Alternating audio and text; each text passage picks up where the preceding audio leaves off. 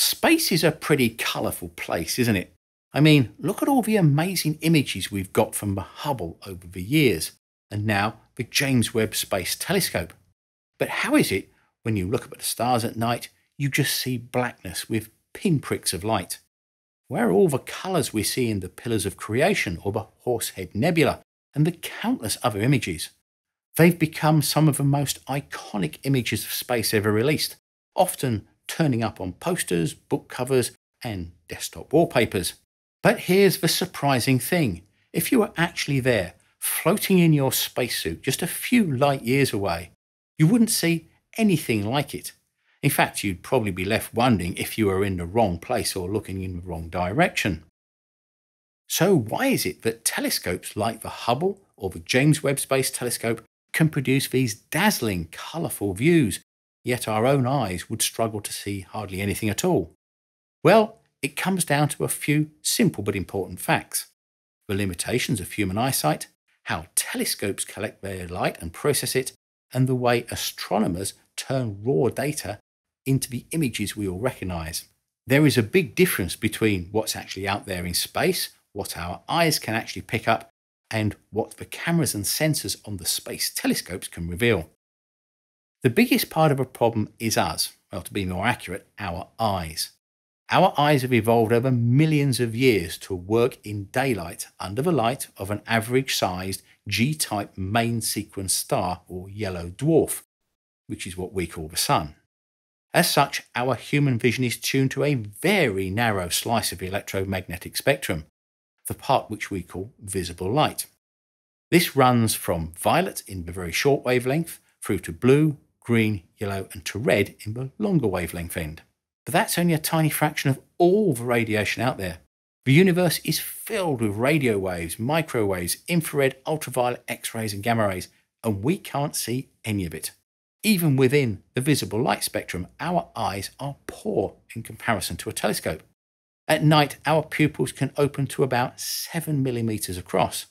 That's enough to let in a decent amount of starlight but it's nothing in comparison to a telescope mirror that's two, three, four, or six meters across. Hubble's mirror is 2.4 meters, which means it gathers millions of times more light than your eye ever could. The James Webb, with its 6.5 meter mirror, gathers even more. The more light you collect, the fainter and more distant the object you can see. That's why, if you were to go outside and look up, the Orion Nebula might appear as a faint grey smudge but through a large amateur telescope, it would start to show its structure, and through the Hubble, it becomes a breathtaking, detailed nebula cloud. It's not like the light isn't there, it's just our eyes aren't sensitive enough to see it. So, why is this? When I'm writing a script for videos like this, one of the ways I like to work is to dictate the script into Word, because A, I'm a pretty bad typist and spend more time fixing typing errors than actually writing it, and B, you can get into the flow of things and not be distracted, in my case by point A. But one of my pet peeves with Word and its dictation system is that it keeps stopping as soon as you move the mouse to look at another window, which is often what I need to do. However, with Applaud Notepin, who are the sponsor of this video, I don't have such concerns. Once I start capturing speech, it'll just keep going no matter what else I'm doing, and it'll use ChatGPT to convert it into text automatically. Now, it's not just for scripting. How many times you've been doing something and wished someone was taking notes? Maybe you're giving a speech or a lecture, or holding a meeting, a training session, or dictating voice memos, or just talking out ideas that will need to be converted into written text. With Applaud Notepin, you don't need to find that person. It can do it all for you, and far quicker than any human could. Once the transcription is done, it gives you a complete summary with the overall theme, takeaways, highlights, key points, and a detailed explanation if required. But this is AI, so you can also ask it to do smart tasks, such as search previous recordings for information to provide summaries or make a compound to do list, or answering general questions about the subject and maybe even translating it into one or more languages. It can even voice print people so when it hears them, what they say will be labelled with their name in the text. The Applaud Notepin weighs just 22 grams, and with its magnetic pin or clip, just attach it to your clothing and press to start recording. Notepin is also compatible with both Android and Apple iOS devices.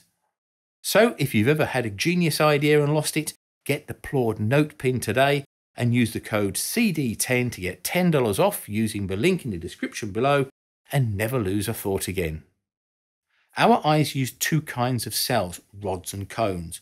Rods are very sensitive to faint light but don't see colour, while cones detect colour but only in brighter light. That's why in a dark room everything looks grey. Out in the nebula, the light levels are so low that your vision would be dominated by rods. You lose most of your colour perception.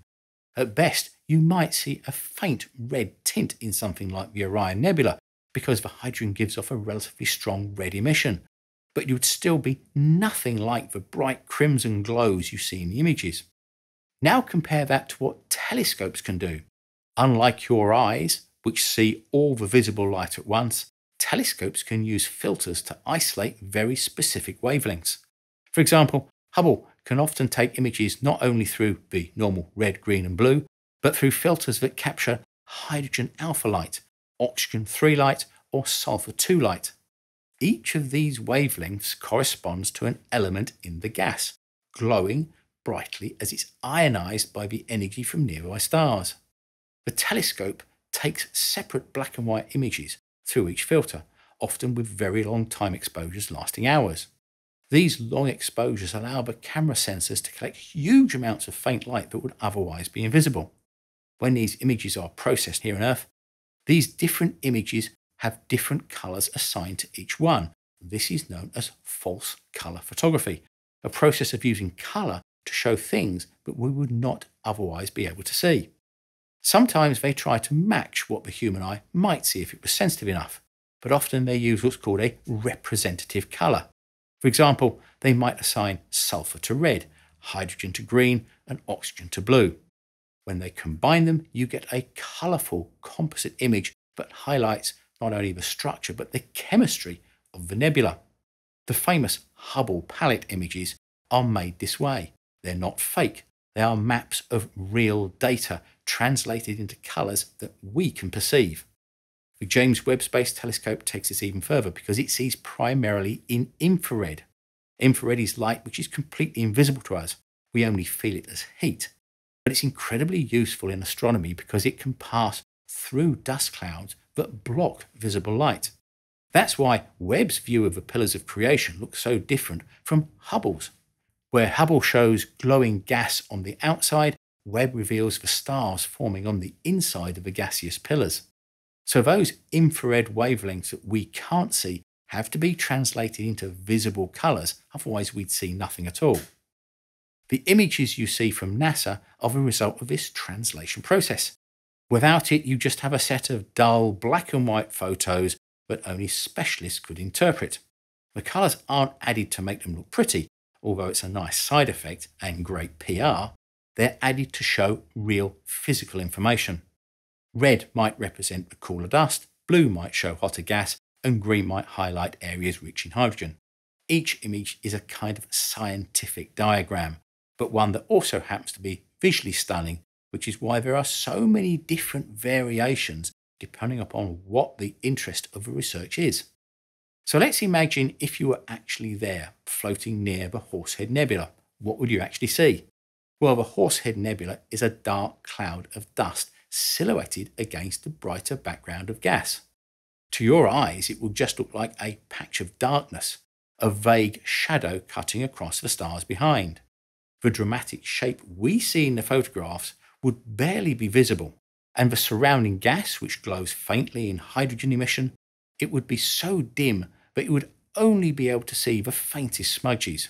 You would certainly never see the deep crimson glow or the intricate details that long exposure images bring out. The pillars of creation are also another good example. In Hubble's images, they look like towering golden fingers reaching into space. In reality, the density of the gas is so low that it's almost a vacuum compared to the Earth's atmosphere. A cubic meter of nebula might contain just a few hundred molecules of gas, whereas the air you're breathing in now is about 10 quintillion molecules per cubic metre. In nice round numbers, about 2.5 times 10 to the power of 25. So the pillars wouldn't look solid and they wouldn't be glowing brightly. At the most, they would look like dark, ghostly shapes blocking out some of the stars behind them. They'd be impressive in scale, several light years tall, but visually, to the human eye, they'd be really rather underwhelming. And this raises a question of whether NASA's images are real. The term false colour photography doesn't help, because some people equate false to fake and something that is not real or made up. Some say that they are misleading because they don't represent what you would actually see, but in reality, they are more accurate than our eyes could ever be. The colours highlight things we would otherwise miss completely, like the distribution of elements, the presence of dust, or the formation of stars. You can't see radio waves, microwaves, infrared, X rays, or gamma rays, but they are all still there. If anything, it's our eyes that are giving us a false impression by being so limited. There's also the question of exposure time. A single glance of our eyes lasts maybe a tenth of a second. We see in real time. The light does not accumulate in our eyes. A telescope image might be built up over hours or days of exposure, collecting and accumulating the effects of photons of light the entire time, making the image brighter the longer the exposure goes on. That's why faint structures emerge in a telescope photos that we would never see in real time.